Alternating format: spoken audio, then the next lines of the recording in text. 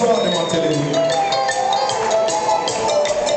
It's in the new album. His name is African Revolution. Rastafari.